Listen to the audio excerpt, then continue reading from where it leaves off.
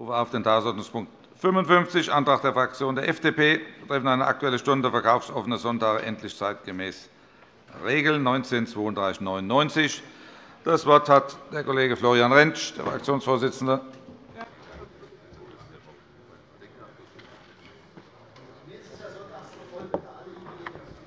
Herr Präsident, meine sehr geehrten Damen und Herren! Es ist schön, dass äh, so viele Besucher jetzt gerade bei dieser Aktuellen Stunde der FDP hier im Hessischen Landtag sind, weil, meine Damen und Herren, wir über die Frage diskutieren wollen, die, ich habe Besucher gesagt, nicht Mitglieder der SPD-Fraktion. Das ist ein Unterschied. Das ist, äh, tut mir leid.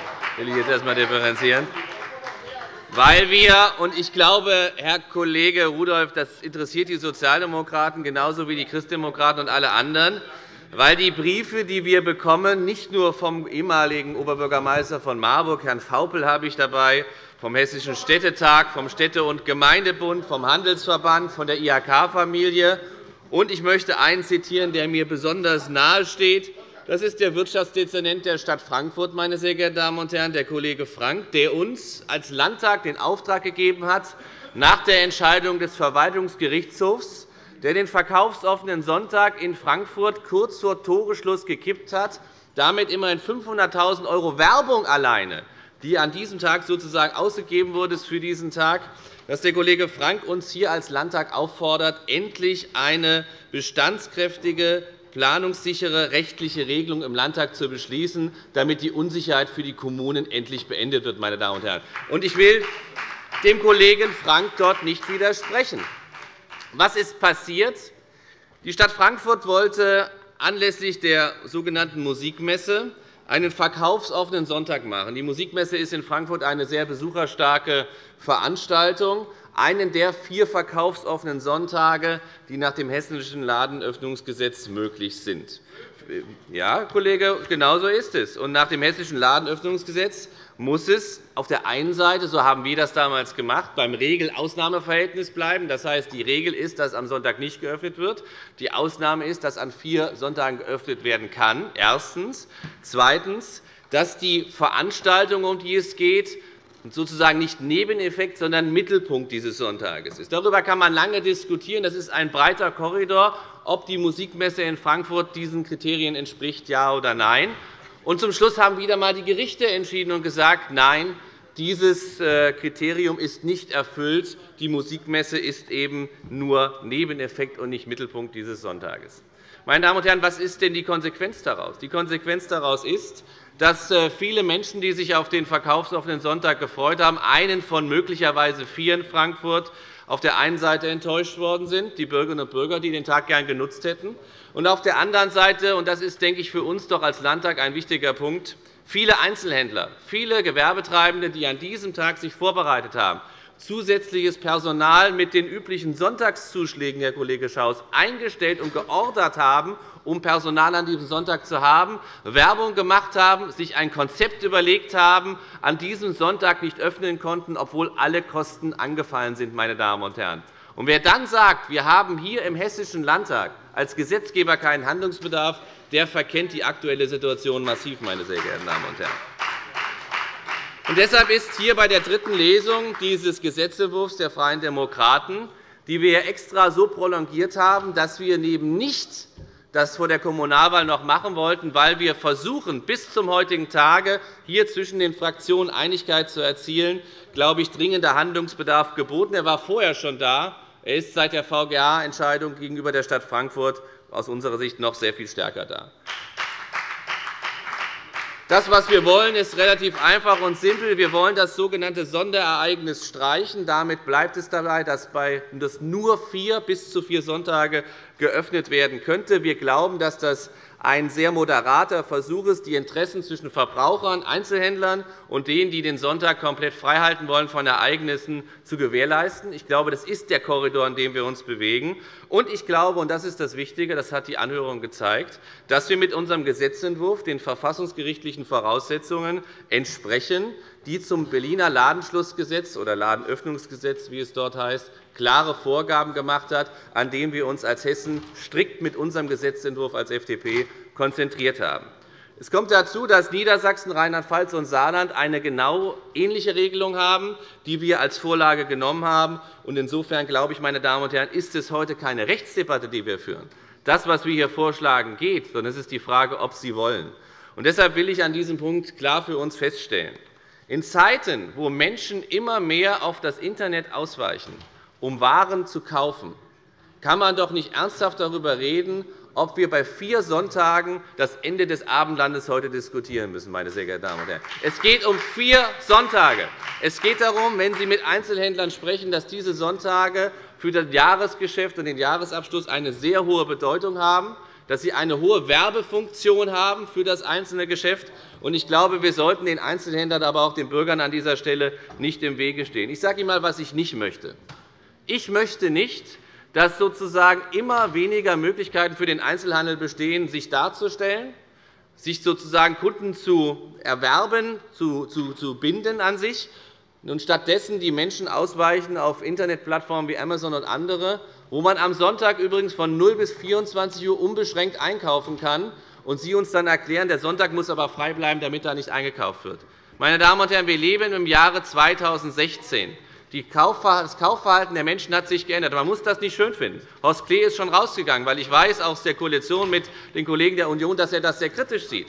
Aber Fakt ist, die Menschen und ihr Einkaufsverhalten hat sich geändert.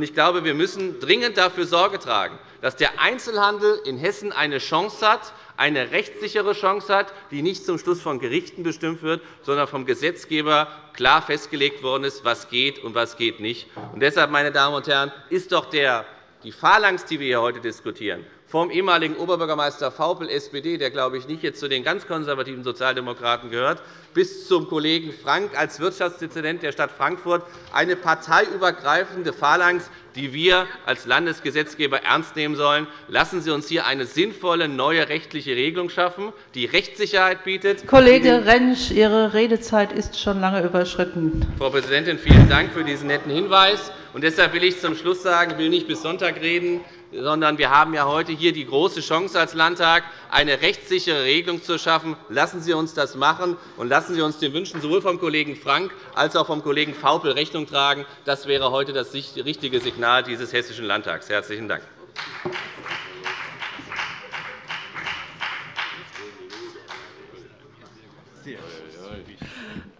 Vielen Dank. Als nächster spricht Kollege Decker, SPD-Fraktion.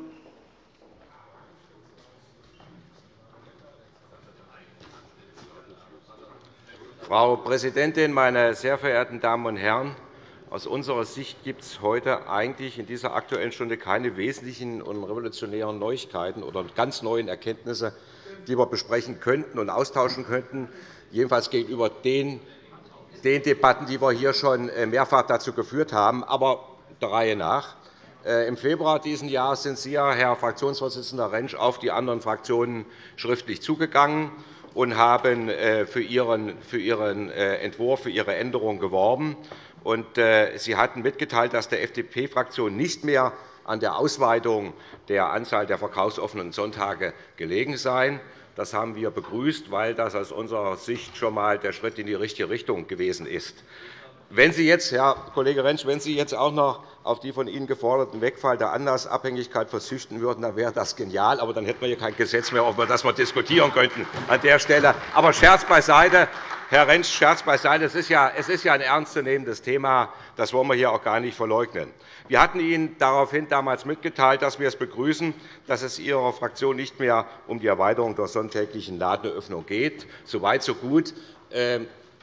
Kleiner Hinweis. Wir hätten das auch in der Praxis äh, für möglicherweise auf der anderen Seite fatal gehalten, weil, wenn man mit dem einen oder anderen Fachmann spricht, dann sagt er Ihnen auch deutlich, man muss aufpassen, dass man bei solchen Sondergeschichten keine Inflation erzeugt, weil das dann auch ganz schnell dazu führen kann, dass die Dinge dann auch wieder unattraktiv werden an dieser Stelle.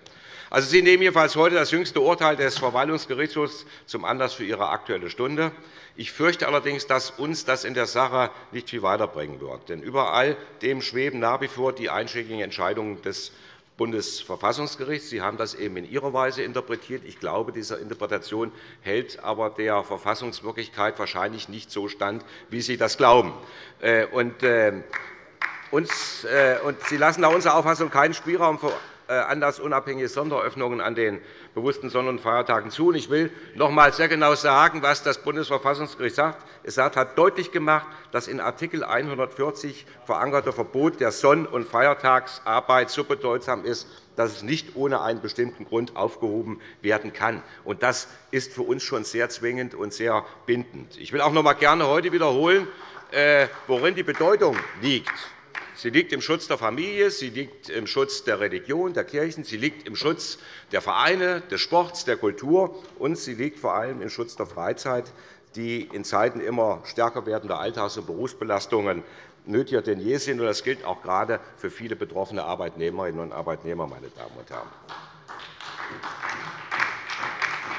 Es gibt äh, also aus der Sicht der SPD-Fraktion gleich mehrere Gründe, von einer solchen Änderung des Ladenöffnungsgesetzes die Finger zu lassen. Zum einen, weil wir uns den betroffenen Menschen, den Vereinen, den Institutionen, die ich beschrieben habe, mit ihrem berechtigten Bedürfnis nach sonntäglicher Ruhe verpflichtet fühlen, und zum anderen, weil wir eine Änderung des Gesetzes in ihrem Sinne aus juristischen Gründen für äußerst bedenklich und daher aus unserer Sicht mit Blick auf das Verfassungsgericht nicht für machbar halten. Meine Damen und Herren. Und insgesamt scheint uns in der ganzen Angelegenheit auch der gesellschaftliche Konsens zu fehlen. Es gibt einen Teil, der befürwortet es, auch den Wegfall des Sonderereignisses, und es gibt einen sehr starken Teil auf der anderen Seite, die nach wie vor sagen, dass das nicht in Ordnung wäre und dass man das nicht akzeptieren kann. Das heißt, wir haben zu wenig Akzeptanz, um das herbeizuführen, was Sie gerne möchten. Äh, deswegen sind wir der Auffassung, dass es für eine solche Änderung nach wie vor keine Basis gibt.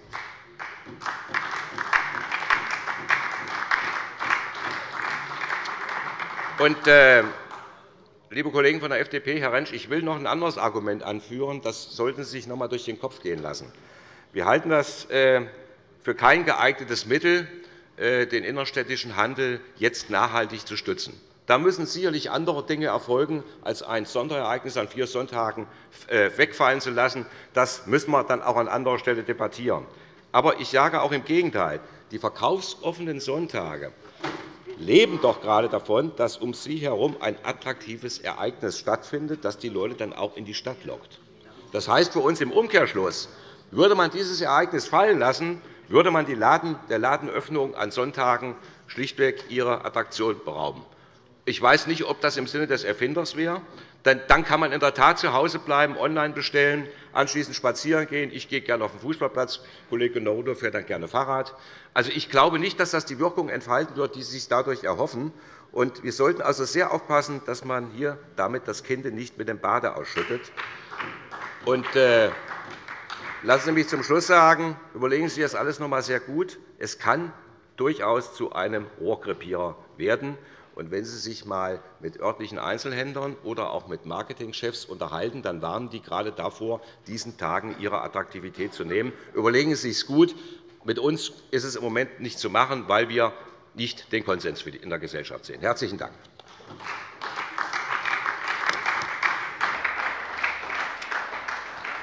Vielen Dank. Nächster Redner ist Kollege Schaus, Fraktion DIE LINKE.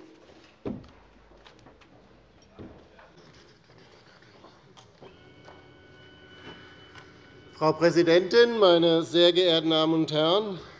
Die Entscheidung des Verwaltungsgerichtshofs Kassel vom 5. April 2016 zur Untersagung der Ladenöffnungszeiten am Sonntag, den 10. April in Frankfurt, konnte in Anbetracht der klaren Rechtslage, Herr Rentsch, und zwar des Bundesverfassungsgerichts und seiner Entscheidung vom 01.12.2009 und des Bundesverwaltungsgerichts in seiner Entscheidung vom 11.11.2015 nicht und niemand überraschen. Danach ist die Voraussetzung für eine Sonntagsöffnung unter anderem, dass ein auch ohne die Sonntagsöffnung stattfindendes Ereignis – in Frankfurt war das die Musikmesse – für alle Bereiche, in denen die Öffnung gestattet wird, prägend ist. Dass dies im Fall der Musikmesse in weiten Teilen Frankfurts und insbesondere in den großen Einkaufszentren weit ab vom Messegelände nicht der Fall ist, Herr Rentsch, war von vornherein auch der Stadt Frankfurt bekannt. Wenn die FDP nun die Einnahmeverluste der großen Einzelhandelsketten in den Vordergrund rückt, dann verkennt sie, dass allein der Frankfurter Ordnungsdezernent Markus Frank, der in Kenntnis der neuen Rechtslage diese Sonntagsöffnung weiter betrieben hat, für die entstehenden Kosten der Einzelhändler verantwortlich ist. Nur er. Er war es, der die Allgemeinverfügung erst am 29. Januar 2016 erlassen hat, viel zu spät unter Berücksichtigung der Einspruchsfristen und der Gerichtsverfahren, die absehbar waren. Der Dezernent Frank hat so auf Risiko gespielt und verloren. Er sollte der Adressat des Ärgers der Einzelhändler sein, Herr Rentsch, und nicht die Gewerkschaft Verdi oder die Kirchen, die nichts anderes getan haben, als ein Verfassungsrecht hier zu verteidigen. Im Art. 140 Grundgesetz in Verbindung mit Art. 139 Weimarer Reichsverfassung heißt es nämlich, ich zitiere, der Sonntag und die staatlich anerkannten Feiertage bleiben als Tage der Arbeitsruhe und der seelischen Erhebung gesetzlich geschützt. Eine ähnliche Regelung findet sich übrigens auch in Art. 31 der Hessischen Verfassung. Die Kriterien für die Zulassung von Sonntagsöffnungen auf Grundlage des § 6 Abs. 1 des Hessischen Ladenöffnungsgesetzes sind durch zahlreiche Gerichtsentscheidungen klar definiert. Dies muss nun endlich in allen Städten und Gemeinden ernst genommen werden. Nun fordern einige, wie auch die FDP, das Ladenöffnungsgesetz zu ändern und insbesondere den Anlassbezug herauszunehmen. Ich kann nur davor warnen, dies zu tun, denn der Inhalt der Sonn- und Feiertagesschutz wird im Wesentlichen durch die Vorgaben des Grundgesetzes bestimmt. An diesen Vorgaben orientiert sich die maßgeblichen Entscheidungen der Gerichte. Eine landesgesetzliche Regelung darf diese Vorgaben nicht umgehen, meine Damen und Herren von der FDP. Ein Gesetz, ein Gesetz ja, die müssen, ihre, die müssen ihre Gesetze ändern nach dieser Rechtsprechung des Bundesverfassungsgerichts, Herr Rentsch. Sie müssen sie ändern. Nehmen Sie nicht darauf Bezug, denn diese Gesetze sind auch nicht verfassungskonform. Ein Gesetz, das auf einen Anlassbezug für Sonntagsöffnungen nämlich generell verzichtet, wäre eindeutig verfassungswidrig und würde dem Bundesverfassungsgericht vom Bundesverfassungsgericht mit Sicherheit wieder einkassiert. Ich freue mich sehr, dass nun auch die hessischen Verwaltungsgerichte die Grundsatzentscheidung beachten und, wie in Frankfurt, am Dienstag auch die Sonntagsöffnung am 8. Mai in Weiderstadt vom Verwaltungsgericht in Darmstadt verboten wurde. Meine Damen und Herren, der nun durch Rechtsprechung gefestigte Sonntagsschutz dient insbesondere den Arbeitnehmerinnen und Arbeitnehmern im Einzelhandel, deren Arbeitszeiten bereits derzeit auf sechs Tage in der Woche bis spät in die Abendstunden hinein verteilt sind. Eine Änderung der hessischen Gesetze hierzu halten wir als LINKE für nicht angebracht. Vielen Dank. Als nächster spricht Kollege Bartels, CDU-Fraktion.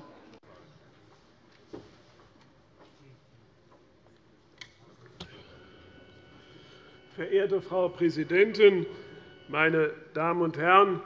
Die arbeitsfreien Sonntage und Feiertage sind Bestandteile unserer Kultur. Und hierüber besteht auch ein ganz breiter Konsens in unserer Gesellschaft. Das Bundesverfassungsgericht hat bei Prüfungen von Ladenöffnungsgesetzen einzelner Bundesländer den Gesetzgebern zwei ganz klare Vorgaben gemacht. Erstens. Die Regel ist, die Geschäfte sind an Sonn- und Feiertagen geschlossen.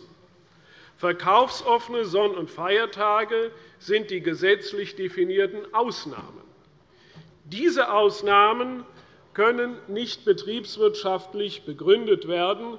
Es muss ein nachvollziehbarer Anlass, können auch sagen Grund- oder Sonderereignis, existieren, der darüber hinausgeht.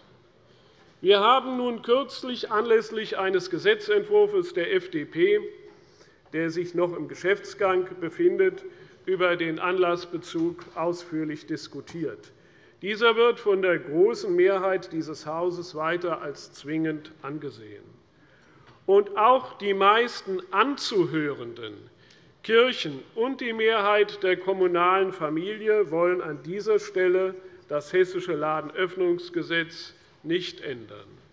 So trug der Hessische Landkreistag vor, dass eine Befragung der 21 Landkreise eindeutig zeigte, dass zum Schutz der Sonn- und Feiertage ein Sonderereignis für einen verkaufsoffenen Sonntag weiterhin erforderlich ist. Komme ich gleich zu. Der Städte- und Gemeindebund und der Städtetag Sie haben beklagt, dass Sie Unsicherheiten im Genehmigungsverfahren sehen. Sie haben aber nicht gesagt, dass Sie den Anlassbezug wegfallen lassen möchten, ausdrücklich auf Nachfrage. Diese Unsicherheiten, diese Unsicherheiten die können wir allerdings den Genehmigungsbehörden der Kommunen nicht nehmen, weil ja gerade der Anlass örtlich bedingt ist. Also muss er eben auch örtlich geprüft und entschieden werden. Das bedarf eben etwas Mühe. und Wir wollen eben nicht vom Gesetzgeber hier ein Korsett vorschreiben. Der Antragsteller der Aktuellen Stunde möchte nun diese Diskussion über den Gesetzentwurf jetzt fortsetzen weil in Frankfurt ein verkaufsoffener Sonntag anlässlich der Musikmesse gerichtlich untersagt wurde. Ich schicke voraus, dass ich die Verärgerung der Einzelhändler über die kurzfristige Absage gut nachvollziehen kann. Es ist aber schon zu fragen, wie diese Situation denn nun entstanden ist. Die Musikmesse auf dem Messegelände ist keine Messe für das breite Publikum, sondern eine Fachmesse. Das ist eben kein Ereignis, das nach dem Willen des Gesetzgebers und gängiger Rechtsprechung einen verkaufsoffenen Sonntag rechtfertigt. Ansonsten könnte man bei jeder Messe, die sonntags geöffnet ist, bei jedem Konzert, etwa auch auf dem Messegelände, oder bei einem Fußballspiel, jetzt bei der Eintracht am nächsten Sonntag, wo die Endphase des Abstiegskampfes beginnt und hoffentlich auch erfolgreich beendet werden wird, eine Ausnahme machen, meine Damen und Herren. Äh, ich glaube, das ist auch nicht im Sinne dessen, was das Hause hier möchte. Die genehmigende kommunale Behörde hat möglicherweise den Ausgang des Gerichtsverfahrens nicht richtig eingeschätzt. Der Zeitpunkt eines Gerichtsentscheides bestimmt immer das Gericht selbst. Ich bin ganz sicher, ich bin ganz sicher dass kommunale Genehmigungsbehörden diese Erfahrung bei künftigen Prüfungen berücksichtigen werden. Dieser Vorgang ist jedenfalls derzeit kein Anlass, das Gesetz zur Disposition zu stellen. Das Gesetz wird rechtzeitig vor Ende der Befristung evaluiert. Und dann werden die Erfahrungen und auch gerade die Erfahrungen der betroffenen Einzelhändler ausgewertet und diskutiert, ob dann eine Anpassung sinnvoll ist. Für die Regierungsfraktion ist die Sonn- und Feiertagsruhe auch unter Berücksichtigung des Konsumverhaltens in einer sich ändernden, sich entwickelnden Gesellschaft ein eigenständiger Wert von grundsätzlicher Bedeutung. Besten Dank hätte ich nicht besser machen können. Vielen Dank. Nächster Wortbeitrag kommt von Kollegen Bocklet, BÜNDNIS 90 die GRÜNEN. Frau Präsidentin, meine sehr verehrten Damen und Herren! Was wir erleben, ist ja die Wiedervorlage des FDP-Vorschlags angesichts eines aktuellen neuen Ereignisses, nämlich des Gerichtsurteils des VGH zu einer möglichen Sonntagsöffnung in Frankfurt. Was wir erleben, ist äh, die klassische Situation eines Zielkonfliktes. Sie haben auf der einen Seite eine Bevölkerung oder Teile der Bevölkerung, die es durchaus als angenehm empfindet, wenn sie an einem arbeitsfreien Tag in Ruhe shoppen gehen kann. Sie haben auf derselben Seite auch einen Handel, der sich dadurch eine Umsatzsteigerung verspricht und äh, sich wünscht, mehr Umsätze zu erlösen. Das auf der einen Seite. Und Sie haben auf der anderen Seite einen Großteil der Bevölkerung, schwer zu quantifizieren, aber es ist sicherlich eine große, relevante Gruppe, die sagt, bitte lasst auch zukünftig die Sonntage unangetastet. Und Sie haben auch Verbände und Organisationen wie die Kirchen, die Gewerkschaften und viele andere, die sagen, wir sehen das nämlich genauso. Sonntag ist und bleibt ein gesetzlich geschützter Tag. Er muss der Ruhe nach wie vor versprochen bleiben. Äh, ich will es einmal vorwegnehmen. Ich habe das auch schon einmal gesagt. Dass darüber sollte in diesem Haus nach wie vor Einigkeit bestehen. Sonntag und die gesetzlichen Feiertage sind und bleiben für den öffentlichen Kommerz, für den normalen Kommerz muss das unangetastet bleiben. Wir wollen, dass dieser Tag ein Tag der Ruhe bleibt, meine sehr verehrten Damen und Herren. Nun ist die Frage, der Vorschlag, der erste Gesetzentwurf, den die FDP damals vorgeschlagen hat, ist nun nachweislich und definitiv nicht konform mit der Verfassung, einfach den Anlassbezug abzuschaffen und womöglich das auch noch zu öffnen an viele Stadtteile. Das haben wir damals schon diskutiert. Dann hätten große Städte wie Frankfurt, Kassel, Darmstadt könnten praktisch jeden Tag, äh, äh, jede Woche eine Sonntagsöffnung kommuniziert. Das wäre natürlich nicht in diesem Sinne. Und das, was Sie weiterhin vorschlagen, Herr Lenders, haben wir Ihnen damals auch schon gesagt, das Modell Rheinland-Pfalz ist natürlich so, dass es trotz alledem die Gemeinden, die das planen, tatsächlich eine Anhörung vor Ort durchführen müssen, ein extrem aufwendiges Verfahren. Ich frage Sie ganz offen und gar nicht rhetorisch, glauben Sie allen Ernstes, dass die Anzuhörenden wie die Gewerkschaften und die Kirchen in einer Stadt wie Frankfurt anders reagieren würden wie im Lande Hessen. Die Gewerkschaften würden auch dann, wenn die Gemeinde, die Stadt Frankfurt eine, so etwas durchführen wollten und sie wären anzuhören, würden sie auch Nein sagen. Also in der Tat würde sich das auch an der Situation wenig verändern.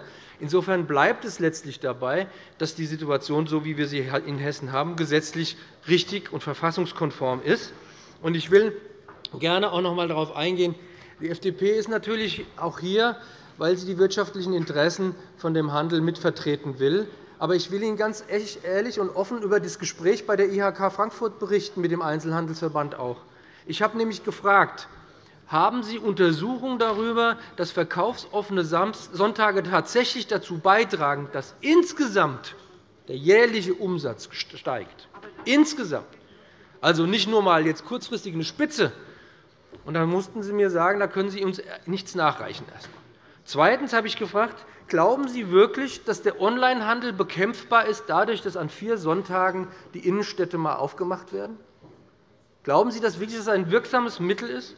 Und auch da gab es keine profunde Antwort darauf. Und die dritte Frage, rein wirtschaftspolitisch, rein wirtschaftspolitisch, die Frage, ob Sie glauben, wenn in Frankfurt die Zeil aufmacht, ob das den Einzelhandel in Bornheim, Bockenheim und in den anderen Stadtteilen tatsächlich zum Vorteil gereicht, dass an den Sonntagen die Menschen, die ihren Umsatz normalerweise in den Stadtteilzentren machen, das dann in der Innenstadt machen.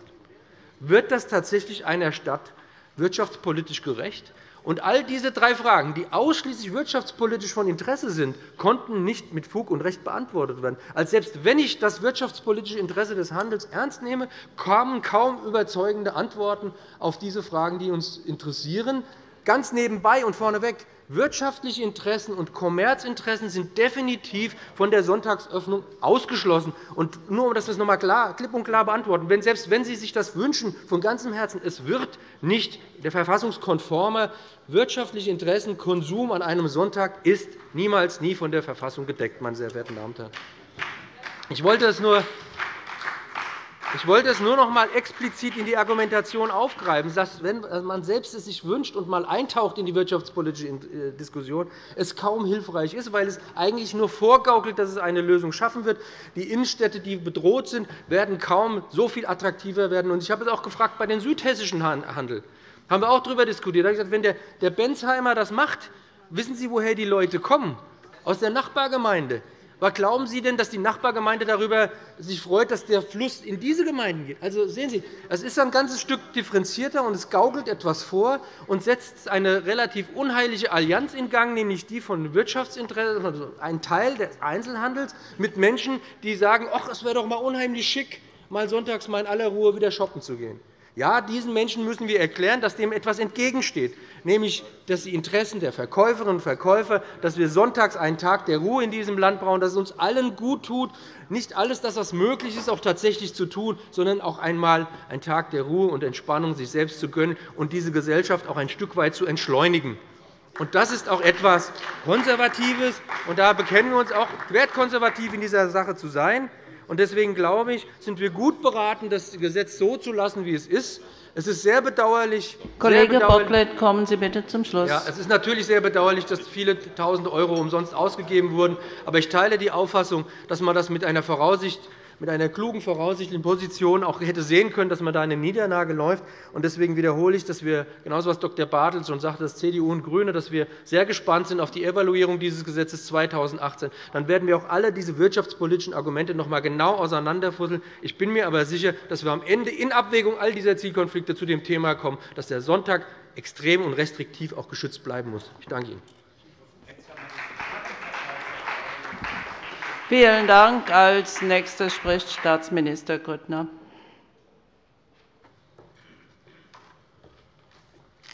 Frau Präsidentin, meine sehr verehrten Damen und Herren! Das Thema Ladenöffnung an Sonntagen beschäftigt uns ja nun zum wiederholten Male. Häufig sind ähm, Urteile des Hessischen Verwaltungsgerichtshofes oder der Verwaltungsgerichte auch Gegenstand gewesen. Diese Diskussion kann eigentlich nicht unbemerkt an denjenigen vorbeigegangen sein, die für die Genehmigung eines verkaufsoffenen Sonntages Verantwortung zeigen. Das sind in der Regel die kommunal Verantwortlichen. Und Im Hinblick auf die Fragestellung einer Genehmigung wäre es im Hinblick auf die Fürsorge und das Interesse der örtlichen Einzelhändler sicherlich notwendig, sich mit solchen einschlägigen Gerichtsurteilen auseinanderzusetzen, um die Chancen abzusehen, ob eine Genehmigung erfolgreich sein kann oder nicht erfolgreich sein kann. Insofern habe ich keinerlei Verständnis für die Entscheidung des Wirtschaftsdezernenten Frank im Frankfurter Magistrat, einen solchen Öffnungszeiten zu genehmigen. Es war mit Anlauf der Versuch, ein Verbot durch den Verwaltungsgericht hinzubekommen. Meine sehr verehrten Damen und Herren. Und dann, manchmal kriegt man auch von der falschen Seite Beifall, da kann man halt nichts dafür. Aber das äh, liegt halt dann in der, liegt dann halt in der, liegt halt in der Natur der Sache. Nur da bin ich der festen Überzeugung, dass die Verantwortlichkeit an dieser Stelle schon eine entsprechende Rolle spielen muss. Das gilt im Übrigen auch für die Entscheidung des Verwaltungsgerichts in Darmstadt bezüglich Weiterstadt.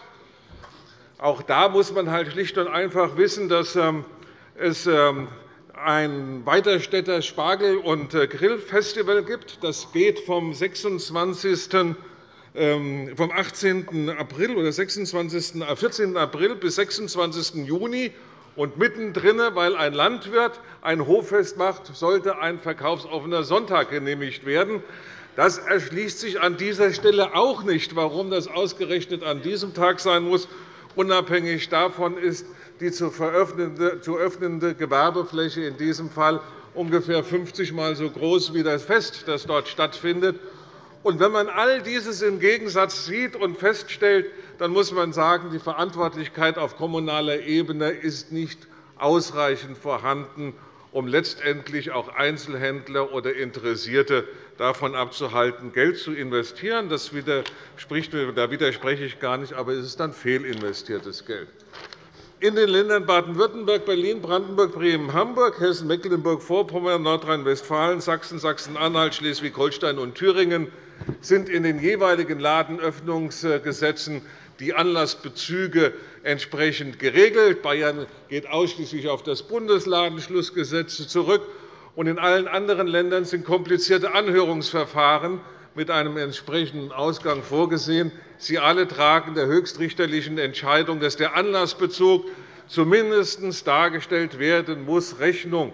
Insofern reicht es an dieser Stelle in der Tat nicht, ausschließlich den Anlassbezug wegzunehmen.